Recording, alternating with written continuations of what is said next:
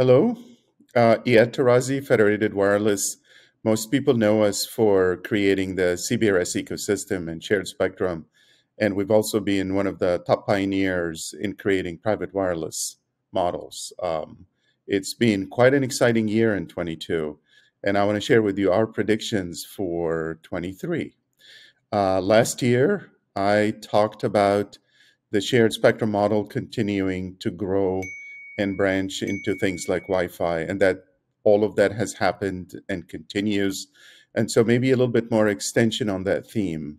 Prediction one is that shared spectrum will continue not only grow, but will continue to become the prominent way that people are going to market for private wireless in wherever they're able to get access to this dedicated industry type spectrum or shared spectrum.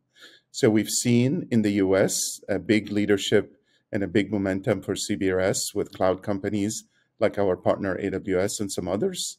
Deployments across multiple segments with that spectrum, not just in the uh, carrier business or in the cable business, but also in enterprise. And the number of access points on CBRS continues to grow as an ecosystem now. It's over, it's very close to 300,000 nodes and will likely double again next year. We've also seen significant traction for AFC. AFC is the Wi-Fi 6 and soon to be Wi-Fi 7 shared spectrum model that allows uh, Wi-Fi devices to take advantage of the 6 gigahertz band and be able to expand, extend it uh, more power, more coverage, more capacity for their users using it. So we've seen a lot of traction for the AFC in 22, and we're going to see tremendous more traction in 23.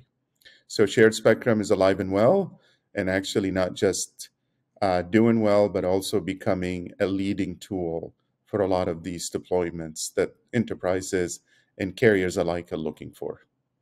Um, in 23, um, a second prediction in 23 that's very similar to what we talked about in 22 is that private wireless will continue to become one of the bright spots and the growth potentials for connectivity uh, really around the globe.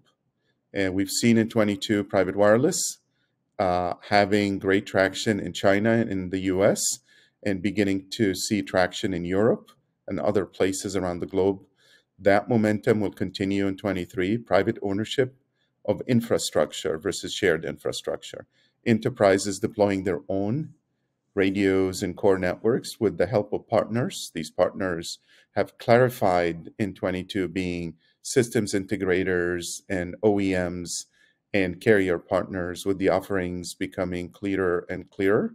And we'll see more of that continuation. We've seen, for example, in 22, first private ownership of spectrum in China. We've seen now 14 countries allocating spectrum either in the same band as CBRS or adjacent for private enterprise use. And we're going to continue to see that trend continue and more and more offerings for private wireless that either cloud-based or shared spectrum-based or uh, private wireless for enterprises uh, type offerings will continue to grow in 23. Um, I'm very, very optimistic about the use cases. We've seen use cases across uh, manufacturing, across agriculture, across education, and we're going to continue to see more segments coming in and more segments taking advantage of private 5G, specifically in the US and globally. That's uh, easy prediction because we see it, but I think the acceleration and the momentum will surprise all of us as it continues to gain traction. Prediction number three is that we're going to begin to see globalization of some of the same shared spectrum software models that we've had. And we're going to also see the shared spectrum management systems go beyond just typical um, uh, shared spectrum models into things like drones and autonomous vehicles and other capabilities where using basic software and basic management tools for shared spectrum is going to be more widely adopted. So the same software models we pioneered in the US uh, for CBRS and for AFC on Wi-Fi 6.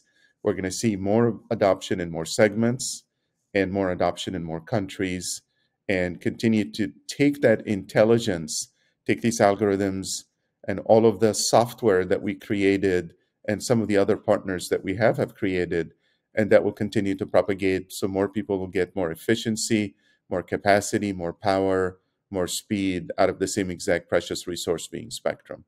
So very bullish on shared spectrum and private wireless, AFC and the product set we have. And we look forward to a phenomenal 23 in growth of all these intelligence capability that we've all rolled out. Thank you.